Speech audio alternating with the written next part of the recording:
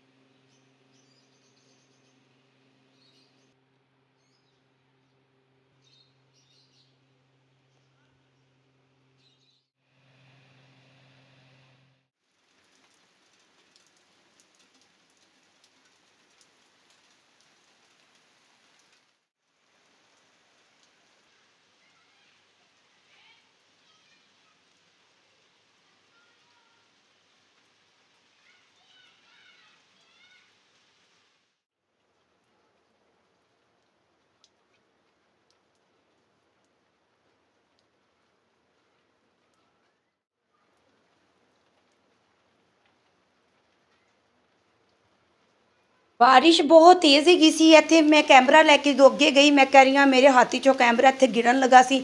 ਮੈਂ ਕਹਿ ਰਹੀ ਉਹਦੇ ਦੋ ਟੋਟੇ ਹੋ ਜਾਣੇ ਸੀ, ਫਿਰ ਮੈਂ ਤੁਹਾਨੂੰ ਵੀਡੀਓ ਕਿਸ ਤਰ੍ਹਾਂ ਬਣਾ ਕੇ ਭੇਜਣੀ ਸੀ, ਮੇਰਾ ਤੇ ਹੋ ਜਾਣਾ ਸੀ ਨੁਕਸਾਨ। ਆਹੋ ਜੀ, ਅੱਜ ਤੇ ਮੇਰੇ ਨਾਲ ਮੈਂ ਕਹਿ ਰਹੀ ਹਾਂ, ਬਾਰ-ਬਾਰ ਮੋਬਾਈਲ ਗਿਰਨ ਦਾ ਹੀ ਹੋਇਆ, ਬਹੁਤ ਬਚਿਆ। ਮੈਂ ਕਹ ਮੋਬਾਈਲ ਮੇਰਾ ਗਿਰਦੇ ਗਿਰਦੇ ਨਹੀਂ ਤੇ ਪਤਾ ਨਹੀਂ ਅੱਜ ਕੀ ਹੋ ਗਿਆ ਸੀ, ਹਾਥੀ 'ਚੋਂ ਸਲਿੱਪ ਹੀ ਹੋ ਜਾਵੇ ਮੋਬਾਈਲ ਵੀ ਮੇਰੇ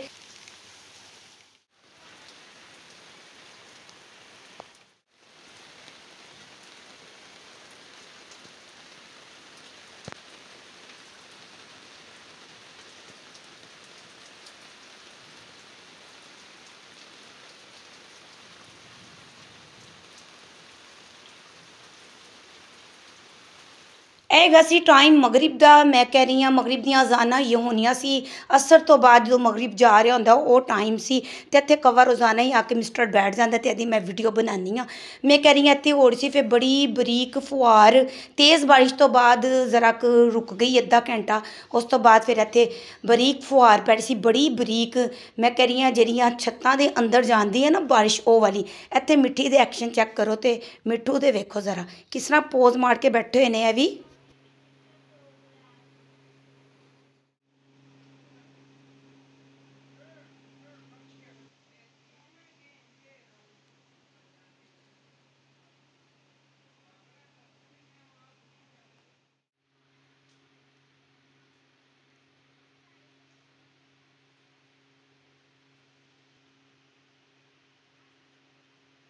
ਅੱਲੋ ਜੀ, ਮੌਸਮ ਸੋਨਾ ਵੇਖ ਕੇ ਨਾ ਮੈਂ ਕਹਿ ਰਹੀ ਆ ਮੈਨੂੰ ਪੈ ਗਿਆ ਦੋੜਾ, ਚਾਹ ਦਾ ਤੇ ਇੱਥੇ ਚਾਹ ਮੈਂ ਚੁੱਲ੍ਹੇ ਤੇ ਚੜਾਈ ਸੀ, ਮੈਂ ਕਹਿ ਕਹਿੰਦੀ ਜੰਪਾ ਮਾਰਦੀ ਪਈ ਸੀ, ਪੱਕਦੀ ਪਈ ਚਲੋ ਜੀ, ਅੱਜ ਤੁਹਾਨੂੰ ਦੱਸਨੇ ਸਾਡੇ ਘਰ ਕੀ ਪਕੜਿਆ, ਸਾਡੇ ਘਰ ਪਕੜਿਆ ਮਟਨ ਪਲਾਓ ਤੇ ਇਹ ਪਾਕੜਿਆ ਜੀ ਮੁਦੱਸਿਰ ਦੀ ਫਰਮਾਇਸ਼ ਤੇ ਤੇ ਇੱਥੇ ਮੈਂ ਲੱਸੀ ਬਣਾਈ ਸੀ ਬੱਚਿਆਂ ਵਾਸਤੇ, ਕੱਚੀ ਲੱਸੀ ਉਹ ਮੁਜ਼ਮਿਲ ਨੇ ਪੀਣੀ ਸੀ। ਉਹਨਾਂ ਨੂੰ ਮੈਂ ਡਾਲ ਕੇ ਦਿੱਤੀ ਗਲਾਸਾਂ 'ਚ ਤੇ ਆਪ ਮੈਂ ਚਾਹ ਦਾ ਕੱਪ ਪੀਤਾ ਸਾਨੂੰ ਅੱਜ ਕੋਈ ਪਤਾ ਨਹੀਂ ਸੀ ਕਿ ਸਾਡੇ ਘਰ ਕੀ ਪਕਣਾ ਤੇ ਰਾਤ ਦੇ ਖਾਣੇ 'ਚ ਅਸੀਂ ਕੀ ਖਾਣਾ ਮੈਂ ਕਹ ਰਹੀ ਅਚਾਨਕ ਬਸ ਸਾਡਾ ਮੂਡ ਬਣ ਗਿਆ ਉਹ ਵੀ ਮਦਰਸੀ ਨੇ ਸਾਡਾ ਮੂਡ ਬਣਾਤਾ ਕਿ ਅੱਜ ਪਲਾਓ ਖਾਣਾ ਤੇ ਫਿਰ ਅਸੀਂ ਕਿਹਾ ਕਿ ਬਈ ਅਸੀਂ ਵੀ ਖਾਵਾਂਗੇ ਤੇਰੇ ਨਾਲ ਤੇ ਪਕਾਵਾਂਗੇ ਤੇ ਖਾਵਾਂਗੇ ਫਿਰ ਇੱਥੇ ਮੈਂ ਯਖਨੀ ਢੜ ਦਿੱਤੀ ਹੋਈ ਸੀ ਪਕਨੇ ਛੱਡ ਦਿੱਤੀ ਹੋਈ ਸੀ यहाँ पे बना रही थी मैं सारा मसाला रेडी कर रही थी इधर चट्टू वट्टे में सारी शेवें सूट के तो मैंने कूट ली घी में प्याज भी सूट के तो मैंने तरफने के लिए छोड़ दिए। पहले भी आपको दसा हुआ है मैंने पुलाव का तरीका। न्यू आने वालों को आज मैं दस रही हूँ। चावल जो होंगे आधा घंटा भिगोएँगे, फिर मैं क्या, तरफते हुए प्याज में ज़ीरा, दालचीनी, इलायची डालेंगे, उसको भी तरफाएँगे और टमाटर यहाँ पे स्लाइस में काट लेंगे। ये कट्टे हुए दिखा दिए, लहसुन अदरक का पेस्ट मैंने सूट दिया, प्याज के साथ ही इसको भी तरफाएँगे तरफाने के बाद मैंने कहा, साथ ही फिर हम टमाटर भी सूट देंगे। ये टमाटर भी सूट दिए, फिर इनको भी हम तरफाएँगे मैंने कहा, मेरे सबूते ही लग रहे थे, आप ज़रा छोटे कटिंग कर लेना। यहाँ पे फिर मैंने बिरयानी मसाला सूट दिया। ये डालने से ना ज़रा फ्लेवर अच्छा हो जाता है। तो दिल करे सूटे, नहीं तो काली मिर्च सूटें, गर्म मसाला सूटे, पिसा हुआ नमक सूटे और हरी मिर्चें कूट के सूट लें और कोई चीज़ शह सूटने की ज़रूरत नहीं यहाँ पे मैंने नमक भी सूट दिया। यखनी में भी नमक सूटा था मैंने दो चम्मच और एक चम्मच मैंने इस मसाले में सूट दिया और साथ ही बोटियाँ भी सूट दी। अब सारी शैवों को एक साथ तरफाएँगे और ये तरफेंगी ना तो फिर ही हम ये यखनी जो अलग की हुई है ये फिर बीच में सूटेंगे। सारी शैवा तरफ़ जान ए लुक आ जाए तो फिर तुम यखनी सूट दो यखनी सूट दी फिर जब इनको उबाले आए तो चावल सूट दो फिर चावल सूट दिए और फिर इनको हम मिक्स कर लेंगे कम ही चम्मच चलाएँगे बहुता चम्मच नहीं हम चलाएँगे के जितने चावलों में चम्मच कम ਚਲਾਏਗੇ ਉਤਨੇ ਚਾਵਲ ਹਮਾਰੇ ਅੱਛੇ ਬਣेंगे ਇਹ ਗੱਲ ਤੁਸੀਂ ਪੱਲੇ ਬੰਨ ਲਓ ਪਹਿਲੇ ਤੁਹਾਨੂੰ ਬੀਫ ਪਲਾਓ ਦੱਸਿਆ ਸੀ ਅੱਜ ਤੁਹਾਨੂੰ ਅਸੀਂ ਮਟਨ ਪਲਾਓ ਦੱਸ ਰਹੇ ਹਾਂ ਅੱਜ ਸਾਡੇ ਘਰ ਮਟਨ ਪਲਾਓ ਪੱਕਦਾ ਪਿਆ ਜੀ ਇੱਥੇ ਮੈਂ ਦਮ ਲਾਤਾ ਸੋਨਾ ਜਿਹਾ ਤਵੇ ਦੇ ਉੱਤੇ ਪਤੀਲੇ ਨੂੰ ਚੜਾ ਦਿੱਤਾ ਆਂਚ ਮੈਂ ਸਲੋ ਕਰ ਦਿੱਤੀ ਇਹ ਵੇਖੋ ਤੁਹਾਨੂੰ ਘੁਮਾ ਕੇ ਵੀ ਵਿਖਾ ਦਿੱਤਾ ਅੱਗ ਨੂੰ ਮੈਂ ਇਹ ਦੇਖੋ ਘੁੰਮਦੇ ਹੋਏ ਇਹ ਪਤੀਲੇ ਦੇ ਉੱਤੇ ਢੱਕਣ ਦੇ ਕੇ ਤੈਨੂੰ ਮੈਂ ਛੱਡ ਦਿੱਤਾ 10 ਮਿੰਟ ਵਾਸਤੇ। ਲੋ ਜੀ ਰਾਤ ਵੀ ਹੋ ਗਈ ਸੀ ਮੈਂ ਕਰੀ ਅੱਜ ਸਾਡਾ ਖਾਣਾ ਲੇਟ ਹੋ ਗਿਆ ਬਾਰਿਸ਼ ਦੀ ਵਜ੍ਹਾ ਤੋਂ ਕੁਝ ਅਸੀਂ ਦੁਪਹਿਰ ਨੂੰ ਲੇਟ ਕੀਤਾ ਆਪਣਾ ਲੰਚ ਆਹੋ ਜੀ ਲੰਚ ਜਿਹਨੂੰ ਲੰਚ ਕਹਿੰਦੇ ਨਾ, ਦੁਪਹਿਰ ਨੂੰ ਅਸੀਂ ਜਿਹੜਾ ਖਾਣਾ ਖਾਦਾ ਉਹ ਲੇਟ ਖਾਦਾ ਲੋ ਜੀ, ਮੈਂ ਕਿਹਾ ਵਾਵਾ ਭੁੱਖ ਲੱਗ ਗਈ ਸੀ, ਦੇਰ ਸਾਨੂੰ ਬੜੀ ਹੋ ਗਈ ਸੀ। ਟਾਈਮ ਆ ਗਿਆ ਸੀ ਕਿ ਦਮ ਵੀ ਖੋਲਦੀ ਐ ਤੇ ਫਿਰ ਖੋਲ ਦਿੱਤਾ ਮੈਂ ਦਮ। ਇਹ ਦੇਖੋ ਹੱਲੇ ਹੁਲਾੜੇ, ਸਾਡਾ ਕਿੱਡਾ ਯਮੀ ਜਿਹਾ ਤੇ ਜ਼ਬਰਦਸਤ ਜਿਹਾ ਬਣ ਗਿਆ ਜੇ ਪੁਲਾਓ, ਮਟਨ ਪੁਲਾਓ, ਤੇ ਇਹਨਾਂ ਨੂੰ ਪੋਨਾ ਫੜ ਕੇ ਤੇ ਅੱਛੀ ਤਰ੍ਹਾਂ ਰਲਾਉਣ ਤੋਂ ਬਾਅਦ ਫਿਰ ਤੁਹਾਨੂੰ ਮੈਂ ਮਿਲਨੀ ਆ। ਉਹ ਬੇੜਾ ਤੜ ਜੇ ਮੇਰੇ ਵੇਖੋ ਅੱਜ ਦੇ ਕੰਮ ਅੱਜ ਜਦੋਂ ਮੈਂ ਮਸਾਲਾ ਭੁੰਦੀ ਪਈ ਨਾ ਉਦੋਂ ਪਤੀਲੇ 'ਚ ਜਾਣ ਲੱਗਾ ਸੀ ਮੋਬਾਈਲ। ਅੱਜ ਮਟਨ ਪੁਲਾਓ ਦੀ ਬਜਾਏ ਨਾ ਆਇਲ ਪੁਲਾਓ ਪੱਕ ਜਾਣਾ ਸੀ। ਆਹੋ ਜੀ। ਉਹ ਮੈਂ ਕਿ ਅੱਜ ਮੇਰਾ ਮੋਬਾਈਲ ਬਾਰ-ਬਾਰ ਬਚਿਆ। ਮੈਂ ਕਹਿ ਰਹੀ ਉੱਤੋਂ ਵੀ ਥੱਲੇ ਡਿੱਗਣ ਲੱਗਾ ਬਾਰਿਸ਼ ਦੇ ਵਿੱਚ। ਪਤੀਲੇ 'ਚ ਵੀ ਜਾ ਪੈਣਾ ਸੀ। ਮੋਬਾਈਲ ਮੇਰੇ ਨੇ। ਮੈਂ ਕਹਿ ਰਹੀ ਹਾਂ ਅੱਜ ਬਸ ਨਾ ਬਚ ਗਿਆ ਮੈਂ ਕਹਿੰਨੀ ਆ ਗਿਰਦੇ ਗਿਰਦੇ ਬਚ ਗਿਆ ਮੇਰਾ ਮੋਬਾਈਲ ਅੱਜ। ਲੋ ਜੀ ਮੈਂ ਕਿ ਹੁਣ ਤੁਹਾਨੂੰ ਡਿਸ਼ ਆਊਟ ਕਰਕੇ ਵਿਖਾਣੇ ਆ ਪਲੇਟ ਸਜਾ ਕੇ ਵਿਖਾਣੇ ਆ ਇਹ ਪਹਿਲੀ ਪਲੇਟ ਸਜਾਈ ਮੈਂ ਮੁਦੱਸਿਰ ਦੀ ਤੇ ਮੁਦੱਸਿਰ ਨੂੰ ਬੜੀ ਭੁੱਖ ਲੱਗੀ ਸੀ ਉਹਨੇ ਸਾਨੂੰ ਦਸਤਰਖਾਨ ਵੀ ਨਹੀਂ ਵਿਛਾਣ ਦਿੱਤਾ। ਮੈਂ ਕਹਿ ਰਹੀ ਆ ਅੱਜ ਉਹਨੇ ਕਰ ਦਿੱਤੀ ਫਰਮਾਇਸ਼, ਉਹ ਵੀ ਉਹਨੇ ਜ਼ਰਾ ਲੇਟ ਕੀਤੀ, ਮਗਰਿਬ ਦੇ ਟਾਈਮ ਤੁਹਾਨੂੰ ਪਤਾ ਹੀ ਹੈ ਯਖਣੀ ਬਣਨ ਤੇ ਜ਼ਰਾ ਟਾਈਮ ਲੱਗਦਾ, ਗੋਸ਼ਤ ਗਲਣ ਤੇ ਟਾਈਮ ਲੱਗਦਾ। ਇੱਥੇ ਸਾਨੂੰ ਇਸ਼ਾ ਦੀਆਂ ਜ਼ਾਨਾਂ ਵੀ ਹੋ ਗਈਆਂ ਹੋਈਆਂ ਸੀ ਤੇ ਫਿਰ ਸਾਡਾ ਖਾਣਾ ਰੈਡੀ ਹੋਇਆ। ਅੱਜ ਅਸੀਂ ਖਾਣਾ ਲੇਟ ਕਰਦਾ ਨਹੀਂ ਤੇ ਅਸੀਂ ਮਗਰਿਬ ਤੋਂ ਪਹਿਲੇ ਹੀ ਖਾਣਾ ਨਾ ਖਾ ਲਈਦਾ।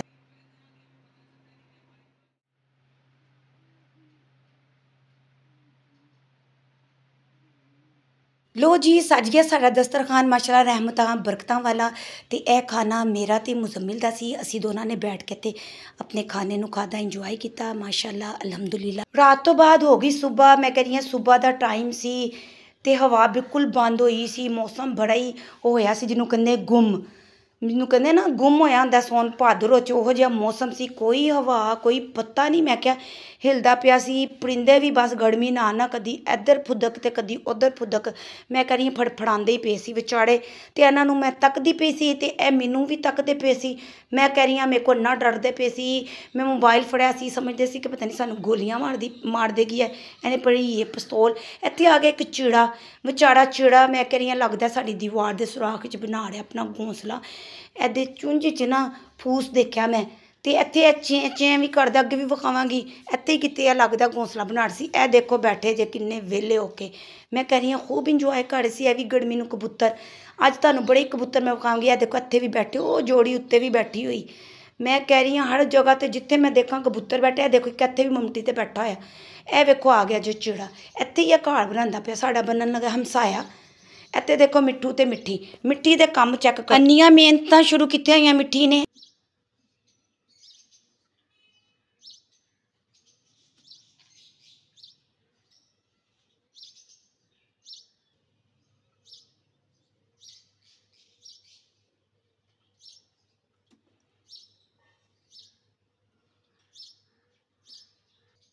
ਮਿੱਠੀ ਮਿੱਠੀ ਬੜੇ ਕੰਮ ਕਰਦੀ ਹੈ ਮਿੱਠੀ, ਵਾਹ ਵੀ ਵਾਹ, ਮਿੱਠੀ ਤੇ ਮਿਹਨਤੀ ਹੋ ਗਈ ਹੈ ਮਿੱਠੀ।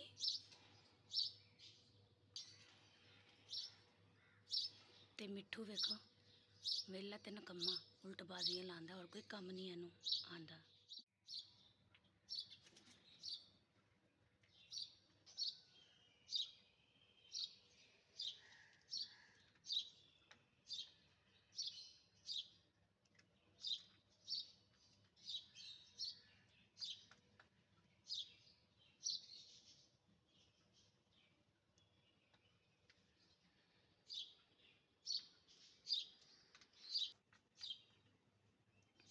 ਮਿੱਠੀ ਦੀਆਂ ਮਿਹਨਤਾਂ ਚੈੱਕ ਕਰੋ ਜ਼ਰਾ। ਇਹ ਵੇਖੋ, ਇਹ ਕੋਈ ਗੰਦ ਨਹੀਂ ਰਹਿਣ ਦਿੰਦੀ, ਕੋਈ ਸ਼ੈ ਨਹੀਂ ਪਿੰਜੇ 'ਚ ਰਹਿਣ ਦਿੰਦੀ। ਜਿਹੜਾ ਫਰੂਟ ਖਾਂਦੀ ਨਾ ਉਹਦੀਆਂ ਗਿਟਕਾਂ। ਮੈਂ ਕਹਿ ਰਹੀ ਹਾਂ ਅੰਦਰੋਂ ਉੱਤੋਂ ਦੀ ਖੋਲ ਉਤਾਰ ਕੇ ਤੇ ਗਿਟਕਾਂ ਜਿਹੜੀਆਂ ਹੁੰਦੀਆਂ ਨਾ ਅੰਦਰਲੀਆਂ ਜਿਹੜੀ ਜਿਹੜੀਆਂ ਅੰਦਰੋਂ ਨਿਕਲਦੇ ਹੈ, ਉੱਤੋਂ ਦੀ ਗਿਟਕ ਖੋਲ ਕੇ ਤੇ ਉਹਨੂੰ ਅੰਦਰੋਂ ਦੀ ਫਿਰ ਨਿਕਾਲਦੀ ਹੈ। ਫਿਰ ਇਹ ਜ਼ਾਇਆ ਕਰਦੀ ਹੈ। ਅੰਨੀਆਂ ਮਿਹਨਤਾਂ ਮਿੱਠੀ।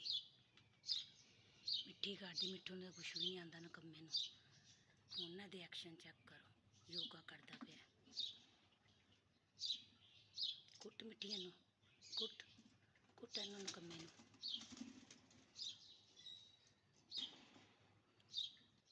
ਮੈਂ ਕਰਨ ਲੱਗੀ ਸੀ ਨਾਸ਼ਤਾ ਤੇ ਮੈਂ ਕਿਹਾ, ਨਾਸ਼ਤਾ ਮੈਂ ਕੀ ਕਰ ਰਹੀ ਹਾਂ ਤੁਹਾਨੂੰ? ਨਾ ਅੱਜ ਦੱਸਾਂ ਦਿਖਾਉਂਦੀ ਹਾਂ।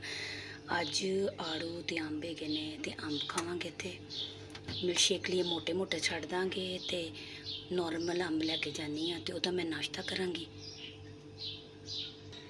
ਤੇ ਆੜੂ ਖਾਣ ਨੂੰ ਮੇਰਾ ਦਿਲ ਨਹੀਂ ਕਰ ਰਿਹਾ ਤੇ ਅੰਬ ਲੈ ਲਦਾ ਮੈਂ ਸਟਿੱਕਰਾਂ ਵਾਲਾ। ਤੇ ਜਾ ਕੇ ਇਹਨੂੰ ਕਟਿੰਗ ਕਰਕੇ ਤੇ ਖਾਣੇ ਆ। ਇਹ ਹੋਏਗਾ ਮੇਰਾ ਬ੍ਰੇਕਫਾਸਟ ਸਵੇਰ ਦਾ ਨਾਸ਼ਤਾ ਤੇ ਫਿਰ ਅੱਧੇ ਘੰਟੇ ਬਾਅਦ ਇੱਕ ਕੱਪ ਚਾਏ हो जाए वो भी लिप्टन चलो ਫਿਰ ਮੇਰੇ ਸਾਥ साथ आप ਕਿਚਨ किचन में और इसको काटते हैं और खाते अभी मैंने पांडे धोए तो ये देखे फिर हो गए। एक पतीली और चाय वाला डोंगा हो गया, रात की पतीली, बल्कि कल की। है वॉश करने तो बाद की करना है, हूँ, मैं तुम्हें दसनी हाँ। फुलों वाली प्लेट लाँगे तो फिर अंब न सुट देवे तो फिर छुरी फड़ा छुरी वॉश करा ਹੁਣ ਇਹਦੀ ਕਟਿੰਗ ਕਰਾਂਗੇ ਤੇ ਫਿਰ ਇਹਨੂੰ ਖਾਵਾਂਗੇ ਮਜ਼ੇ ਲੈ ਲੈ ਕੇ ਬੜੇ ਹੀ ਮਿੱਠੇ ਸ਼ਹਿਦ ਤੇ बड़े ही ज़बरदस्त आम भेगे जे चलो फिर ਇਹਨੂੰ मैं खानी आज मैं दसूंगी आपको आम कैसे काटते हैं और आप सीख जाना कैसे काटते हैं इसके मुख्तलिफ तरीके हैं इसको काटने के तो इसको आप इस तरह फिंगर शेप में भी काट सकते हैं आप इसको सेंटर में से इनके इसके दो टोटे भी कर सकते हैं आपकी मर्ज़ी जैसा आप खाना पसंद करते हैं आप खाएं तो ऊपर से छिलने उतार के तो इसका गुद्दा अलग करके भी खा सकते हैं कांटे के साथ। यहाँ पे ऐसा मैंने अपने लिए काट लिया, मैं ऐसा खाती हूँ। तो अब इसको मैं खाऊँगी इंजॉय करूँगी। मैं कह रही हूँ बड़ा ही मिठा तो बड़ा ही ज़बरदस्त अंब सी। फिर इस तो बाद मैं चाह नहीं बनाई। इस तो बाद मैं ਦੁੱਧ पत्ती बना के पीती इतने ਦੁੱਧ भी गर्म हो गया। मैं कह रही हूँ, सुबह उठा ना तो मैं एक कप चाय पीनी ਆ ਤੇ ਫਿਰ ਮੈਂ ਅੰਬ ਅੱਜ ਖਾਦਾ ਤੇ ਉਸ ਤੋਂ ਬਾਅਦ ਫਿਰ ਮੈਂ ਆਪਣੀ ਚਾਹ ਵੀ ਰੱਖ ਲਿੱਤੀ। ਇੱਥੇ ਚਾਹ ਵੀ ਮੇਰੀ ਪੱਕਦੀ ਪਈ ਸੀ। ਦੁੱਧ ਪੱਤੀ ਮੈਂ ਬਣਾ ਰਹੀ ਸੀ।